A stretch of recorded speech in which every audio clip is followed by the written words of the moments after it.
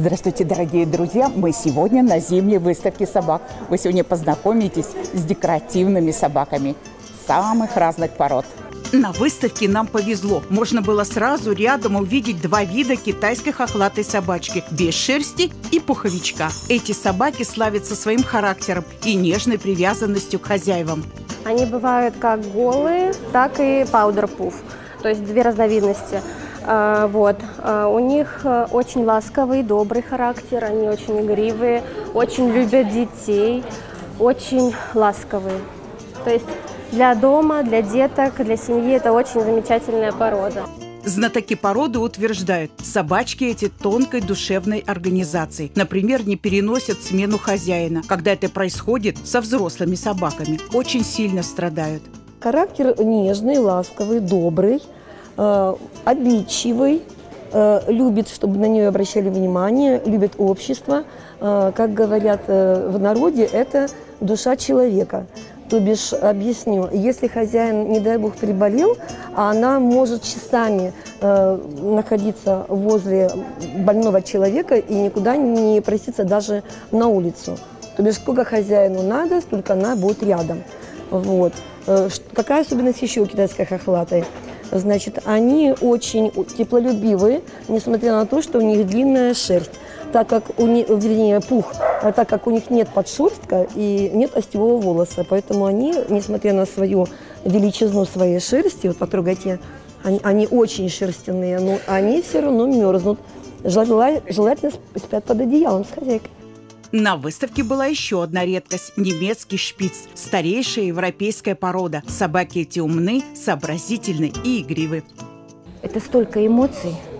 Вот это взрыв эмоций. Это э, только положительные эмоции, эмоции. Вот ничего. Да, немножко стесняется. А еще нас порадовало присутствие шицу. Они любят быть в центре внимания, очень говорят душевные и находят общий язык со всеми домочадцами. очень ласковая. И она как бы и на подушку, но в тот же самый момент ее желательно выставлять, чтобы показать ее всем. И я бы не сказала, что она тяжела в уходе. Достаточно каждую неделю его мыть. А так это очень замечательная, очень понятливая собака. Шицу любят играть и не нуждаются в больших прогулках. Я влюблена в этих собак. Это не первая собака у меня уже. Кому нужен друг, кому нужен ну, питомец, до- добрейшая душа, очень преданная собака. Ну, вообще, к детям прекрасно относится, к другим питомцам, если есть в доме. Характер ненавязчивый. Ну, в общем, шикарно. Ну, единственное, конечно, кто не хочет с шерстью заморачиваться, ну, можно постричь. А вот таксы популярны всегда, независимо от моды. их ум, их жизнерадостность, вот это вот позитив в жизни. Вот э, мы взяли Боню, она столько эмоций нам приносит. Собака просто не знает границ, вот она ее распирает везде и всегда. Она всегда с нами, она очень семейная собака, мы ее всегда с собой берем, то есть э, очень такая веселая. Вообще без нее жить уже не можем. А вот русского той-терьера встретишь редко. любит очень взрослых, детей ненавидит, он убегает, кусает, рычит. В душе он у нас большой, несмотря что он такой маленький-маленький. Вот. Ну, так он для, для души. Ну а с мальтезами на выставку обычно всегда приходит вся семья. Сегодня вот с внучкой Дашей, Егоркой приехала в этот замечательный, на эту замечательную выставку. Мы здесь уже не первый раз, и Лучик здесь уже был, и у нас уже юный чемпион России. Но хотим еще получить титул, и хотим, чтобы это мероприятие запомнилось и внукам. Выставка собак зимой – это особый праздник. Конечно, выбирали лучших, конечно, давали эксперты советы. Но главное – встретились в новом году люди с общими интересами и любовью к самому верному другу человека. В рубрике «Рядом с другом» мы видим фотографии Надежды Скоромной и ее собак.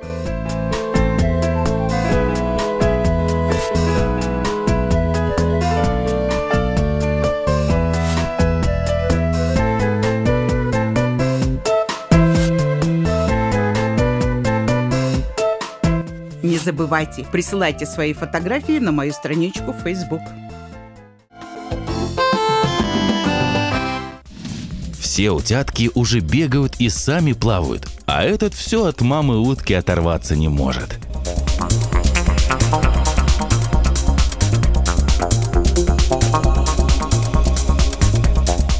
И волк может быть другом.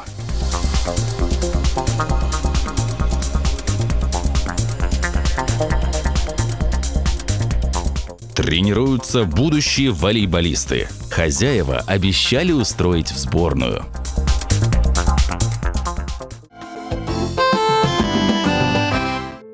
Иногда мы видим их летающих высоко в небе, черных грифов и белоголовых сипов, самых больших птиц в наших просторах. А вот рассмотреть вблизи мы их сможем только в наших зоопарках. Этот вольер построили специально для грифов и сипов, чтобы показать и крымчанам, и гостям нашего полуострова наш вот такой птичий символ. У них большой вольер, но летают они здесь редко. У нас три грифа и три сипа.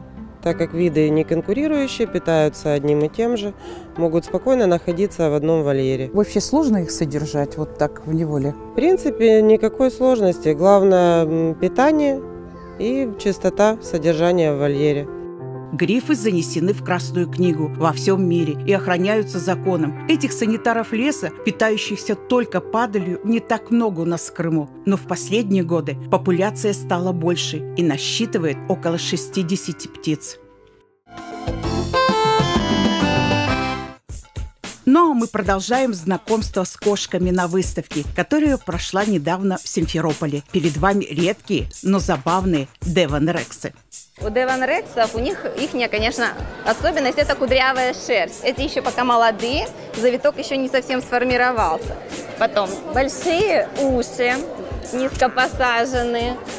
Вот. Ну, конечно, их девонский характер необычный.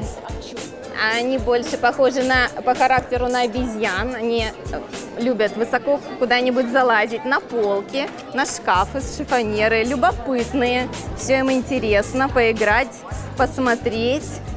У этих кошек не только внешность особенная, но и характер удивительный. Девон Рексы отличаются от других пород тем, что, э, во-первых, у них оригинальный внешний вид, очень красивая мордочка и очень выразительные глаза – а по характеру у них среднее между кошками, собачками, собаками и обезьянками. Они очень социализированы и направлены на человека. А сейчас гости из Феодосии. Редкая персидская кошка. Жаль, но этих кошек почти не встретишь на выставках. В чем сложность? Сейчас узнаем. Очень успокаивает нашу нервную систему, если у нас есть время посмотреть телевизор, мы присаживаемся на ножки, рядышком, начинаем молчать.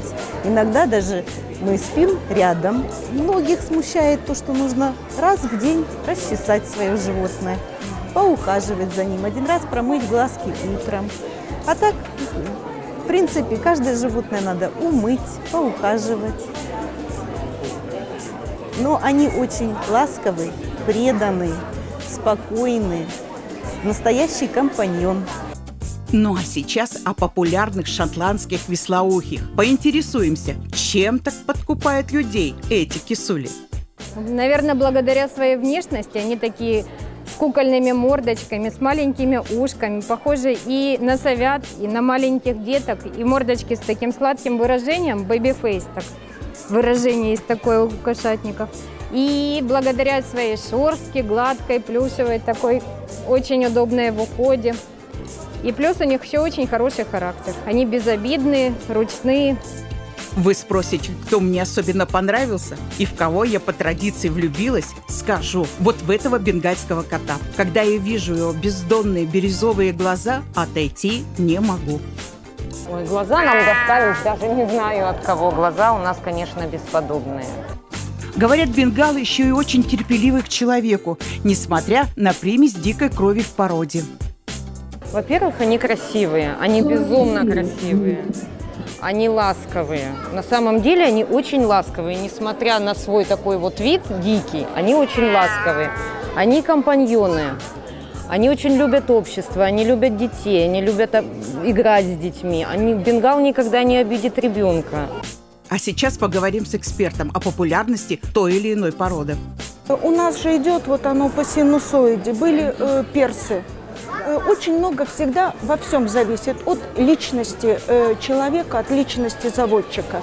Э, вот персы э, пользовались огромной популярностью. Потом эта любовь пошла на спад.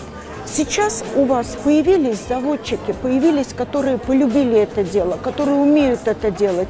И я смотрю, вот опять э, персы, и хорошие персы, и достойные, и конкурентоспособные. Выставка хоть и племенное мероприятие, но для тех, кто любит кошек, это настоящий праздник, на котором можно задержаться, любуясь кошачьей красотой. В рубрике «Чей хвост» у нас сегодня еноты. Стоит ли заводить это экзотическое, но очень интересное животное?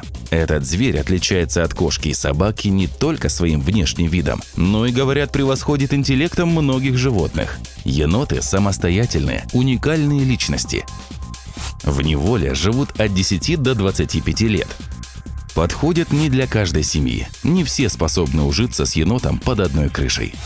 Еноты крайне чистоплотны. Они очень любят купаться. Енот может жить в доме. И в квартире, но обязательно должен быть вольер или клетка. Енот может помочь только с уборкой в доме. Его можно и нужно учить, как относиться к домочадцам. Енот любит шалить и хулиганить. Если ему что-то интересно, он будет трепать, обнимать и прыгать. Цена от 3 до 35 тысяч рублей.